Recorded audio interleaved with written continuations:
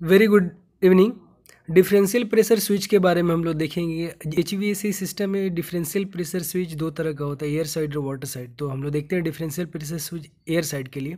इसका जो रेंज होता है टू ट्वेंटी से टू थाउज़ेंड तक रहता है उससे ज़्यादा भी है। तो देखो for fan positive side to the discharge side यानी कि जो उसमें दो पोर्ट होता है एक प्लस एक माइनस ये देखो मैं फ़ैन बना रहा हूँ और ये फ़ैन सपोज़ फ़ैन ये फ़ैन के पहले वाले में आ, राइट में प्लस और लेफ़्ट में माइनस है। लेकिन फ़िल्टर के केस में क्या होता है? ठीक अपोजिट होता है। क्योंकि जो इनिशियल प्रेशर ड्रॉप होता है हर फ़िल्टर के लिए होता है। कंपनी की तरफ़ से जैसे सौ हो गया नाइन्टी हो गया जो भी हो तो प्लस वाला पोर्ट होगा पहले होगा और निगेटिव वाला बाद में होगा। क्योंकि जब फ़िल्टर गंदा होगा तो प्रेशर ज़्यादा क्रिएट होगा ना तो इसलिए इधर पल, पहले प्लस होगा बाजू वाला माइनस होगा। ठीक है? मैंने दिखा है for filter positive side before the plus before the filter and fan for the plus जो पार्ट होगा फ़ैन के आगे होगा और इसमें फ़िल्टर के केस में पीछे होगा, ठीक है? फ़िल्टर और और फ़ैन में दोनों में बस उल्टा है। एक का याद रखना, दूसरे का ऑटोमेटिक हो जाएगा। तो अभी मैं जो चालू करने वाला फ़ैन एक जो फ़ैन अगर बंद है, अगर हमको पता करना है कि चालू है या बंद है तो हम लोग डीपी स्विच लगाते हैं। चलो फ़ैन अगर बंद है तो दोनों तरफ़ प्रेशर कितना होगा? हंड्रेड हंड्रेड होगा तो दोनों का डिफरेंस कितना होगा? प्लस में से माइनस घटाएँगे तो ज़ीरो होगा। डीपी रेंज तो 120 है, लेकिन अभी हंड्रेड आ रहा है। अगर फ़ैन थोड़ा भी स्लो चल रहा है तो अगर इधर सौ है और एक तरफ़ में चालीस है तो भी सिक्सटी होगा। तो सिक्सटी होगा तभी एक सौ बीस से कम है ना? तभी बताएगा कि फ़ैन बंद है। तो फ़ैन का एक मिनिमम स्पीड होना चाहिए। इसीलिए एच सिस्टम में जो फ़ैन का स्पीड मिनिमम और मैक्सिमम हम लोग रखते हैं। चलो, अब केस में क्या है कि फ़ैन मैंने ऑन किया। तो मुझे वर्क स्टेशन से, जहाँ से मोनिटर करते हैं तो वहाँ से पता होना चाहिए ना कि फ़ैन चल रहा है या नहीं। तो अभी क्या है कि जब फ़ैन चालू होता है तो निगेटिव प्रेशर क्रिएट होगा। आप देखोगे ना कि फ़ैन जब चालू होता है, हाथ रखोगे तो खींचेगा। यानी कि प्रेशर नेगेटिव प्रेशर क्रिएट कर रहा है। तो मान लो कि suppose forty minus forty pascal है और जब फ़ैन चालू होगा तो हवा ब्लो करेगा तो उधर टू हंड्रेड पास्कल है। तो अगर दोनों को माइनस करोगे तो दो हज़ार और माइनस फोर्टी तो ऑलरेडी माइनस फोर्टी है और माइनस फोर्टी करना है तो टू हंड्रेड फोर्टी हो गया। लेकिन हमारा जो डी पी रेंज है वो कितना है? एक सौ बीस है। तो एक सौ बीस से ज़्यादा हो गया ना तो बीस से ज़्यादा हो गया तो मुझे उधर क्या बताएगा कि फ़ैन चल रहा है। तो फ़ैन को मोनिटरिंग में हो गया। तो जो हमारा डीपी स्विच है, वो डक्ट में यूज़ होता है, फ़ैन के लिए होता है, फ़िल्टर के लिए होता है, ठीक है? तो अभी मैं आपको दिखाया हूँ कैलकुलेशन, प्रेशर डिफरेंस कितना हो गया? 200 माइनस, और ऑलरेडी ब्रेकेट में माइनस है तो दोनों का डिफरेंस 240 हो गया ना? तो डीपी कितना हो गया? डीपी हमारा 240 is less than DP range तो 120 से क्या है ये? ज़्यादा है ना? तो मोनिटर करेगा कि हाँ ये फ़ैन चल रहा है। क्लियर डीपी रेंज हमने 120 ही सेट कर रखा है बट डीपी वैल्यू जो आया डिफरेंशियल प्रेशर वो 100 240 आया। मैंने दिखाया है कि ये जो हमारा फ़ैन है, फ़ैन के आगे मैंने फ़िल्टर वो लगा रखा है। देखो, ऊपर में जो दिखा है, मैं सर्कल करके आपको दिखाता हूँ, फिर प्रैक्टिकल वीडियो से वो मैंने बनाया एनिमेट करके, और यहाँ पे प्रैक्टिकली दिखाता हूँ। ये देखो, हमारा जो यूनिट है, कोई भी हो, ये चू करा हो, जो भी बोलो, यूनिट के ऊपर में उन्होंने डी स्विच यूज़ किया है। देखो, इसमें एक प्लस और एक माइनस पोर्ट है, वो आगे दिखाऊँगा वीडियोज़ में, बट मैंने दिखाया कि ये जो पाइप है ना, वो फ्लेक्सीबल हो, क्लियर हो से, वो क्वार्टर का है मतलब बहुत ही पतला है, उसको ला करके फ़ैन के आगे में डाल दिया। देखो, दिखा रहा है, फ़ैन के आगे में है। फ़ैन वहीं पे है। ये देखो, अगर एरे ऑफ़ फ़ैन हो, बहुत सारा फ़ैन है तो कैसे पता चलेगा कि फ़ैन चल रहा है कि नहीं? यहाँ पे देखो ना 500 के से भी ज़्यादा फ़ैन है। एक के ऊपर में इसको फ़ैन बैंक हम लोग बोलते हैं। वेंटिलेशन में देखो, फ़ैन चल भी रहा है। ठीक है, वीडियोज़ में कम आया।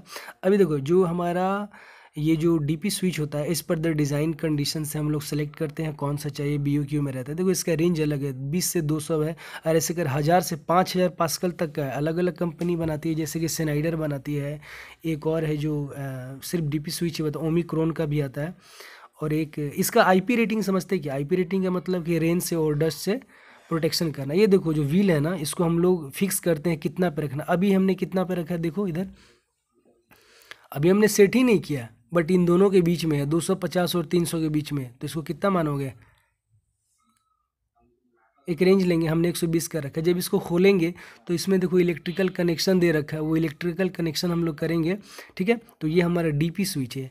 तो डीपी स्विच दो तरह का होता है air side and water side ठीक है? तो ये हमें बताता है कि हमारा फ़ैन चल रहा है या नहीं, और फ़िल्टर के केस में ये बताता है कि फ़िल्टर हमारा अब साफ़ करने लायक है, उधर अलार्म होने लगेगा टेक्निकल डेटा की बात करते हैं तो आउट और इन होता है। मैक्सिमम जो प्रेशर ये करता है टेन किलो पास्कल तक है, ठीक है? मीडियम कहाँ कहाँ यूज़ कर सकते हैं? एयर में नॉन कंसिबल होना चाहिए नॉन एग्रेसिव ग्रीसिस वहाँ पे अच्छा एम्पियर रेंज जो दिखा है वो देखो, क्या है? टेम्परेचर रेंज जो है minus forty minus twenty degree से लेकर के plus eighty five degree Celsius तक लेते हैं। और स्टोरेज का मतलब क्या है? मतलब रख सकते हैं माइनस फोर्टी से लेकर के प्लस एट्टी फाइव डिग्री तक। और डाइफेरगम टाइप का होता है, और फिर जो भी हो, वो टेक्निकल चीज़ है। अच्छा इसमें देखो, लिखा plastic pipe connection P one and P two उसके पोर्ट के ऊपर में लिखा होता है। सिक्स एम का वो पाइप होना चाहिए। अब पी वन वाला प्लस है और पी टू वाला निगेटिव है, उसके ऊपर में लिखा होता है बट आपको ये पता होना चाहिए कि किधर डालना है। गलत डालेंगे तो गलत आएगा। तो पॉजिटिव वाला पार्ट फ़ैन के आगे आना चाहिए और पॉजिटिव वाला पार्ट फ़िल्टर के पहले आना चाहिए, ठीक है? स्विच बॉडी बाकी उसका वेट वगैरह दिखा हुआ ये सारा टेक्निकल डेटा है, आप चाहें तो ले सकते हैं, मेरे पास ये मेरे पास आया हुआ था, क्योंकि जब हम लोग स्विच लिए थे तो टेक्निकल डेटा वो लोग को भेजे थे। ये प्रोटेक्शन आई भी दिया हुआ है। तो अभी फ़ैन के केस में तो बिल्कुल समझ में आ गया। एक बार और मैं वीडियो को समराइज़ करता हूँ कि फ़ैन जब ऑन है तो माइनस फोर्टी और डिस्चार्ज टू हंड्रेड है। तो दोनों का डिफरेंस कितना हो गया? अरे 200 माइनस चालीस का माइनस यानी कि मैथ्स उतना मेरे को भी नहीं आता।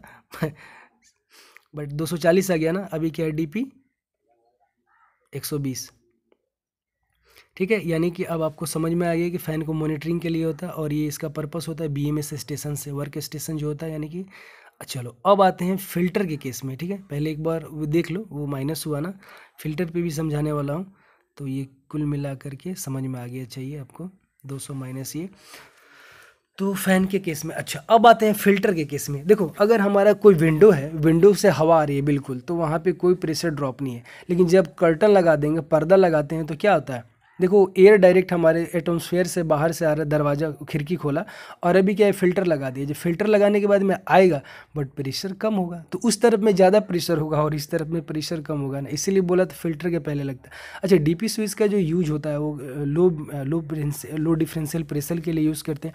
इसका अप्लीकेशन एयर कंडीशनिंग में होता है फ़ैन के लिए होता है फ़िल्टर के लिए होता है और डक्टिंग सिस्टम में यूज़ करते हैं, ठीक है?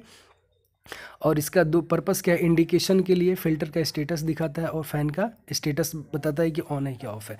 तो चलो फ़िल्टर केस में मैंने डीपी स्विच ऊपर में लगा दिया रेड कलर का देखो लिखा हुआ फ़ैन अभी ऑफ़ है। तो अगर मान लो इनिशियल प्रेशर हमने इस पर द ओ जो मैन्युफैक्चरर बोला कि हंड्रेड पास्कल है। तो अभी क्या है कि जब फ़िल्टर साफ़ है तो आपको दोनों तरफ़, या फ़िल्टर साफ़ है तो क्या? यानी कि दोनों तरफ़ ज़ीरो आ गया ना? रेंज तो मैंने 120 रखा है इसके भी केस में। तो अभी ज़ीरो आ गया मतलब क्या है? फ़िल्टर क्लीन है। आगे, सेकेंड केस में देखते हैं।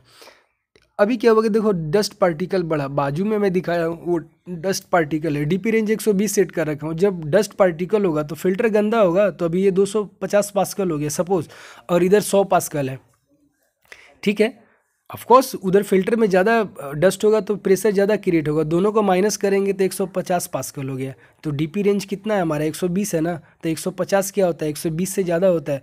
तो बी 120 से ज़्यादा होगा तो क्या होगा? अलार्म आएगा। और अलार्म के लिए ही तो रखते हैं। मैंने बोला ही था कि इसका मोनिटरिंग के लिए बीएमएस स्टेशन में हमें पता चलेगा कंट्रोल एरिया में कि हाँ ये फ़िल्टर में इस जगह पर अगर जहाँ बहुत सारा एच अभी देखो दिखा रहा हूँ आपको प्रैक्टिकल वीडियोज़ ये देखो।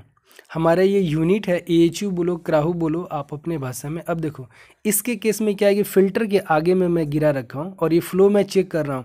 तो अगर ये डस्टी होगा तो फ्लो दिखाएगा, क्या दिखाएगा? फ्लो मीटर वो लगा रखा हूँ। उसको एनीमोमीटर बोलते हैं उससे फ्लो चेक करते हैं। देखो, ये हमारा डीपी स्विच है, उसमें प्लस और माइनस पोर्ट है। तो प्लस वाला देखो, नीचे लेके आके दिखा हूँ। यहाँ पे फ्लो मैं चेक कर रहा हूँ। अगर ये साफ़ होगा तो फ्लो ज़्यादा आएगा। अगर डस्टी होगा तो फ्लो कम आएगा। तो हमें मेजर करना पड़ रहा है ना। बट अगर ये चीज़ डीपी स्विच लगाने का मेजर करने के लिए बार बार खोल के मेजर करूँगा, सौ यूनिट हो गया तो पता चला कि एक साल तो इसको मेजर करने में पता चलेगा। तो सब, जब चलेगा सिस्टम चलेगा कैसे? इसीलिए डीपी स्विच यूज़ करते हैं, समझ में आ जाना चाहिए कि डीपी स्विच मॉनिटरिंग के लिए यूज़ करते हैं। Thank you for your precious time God bless you take care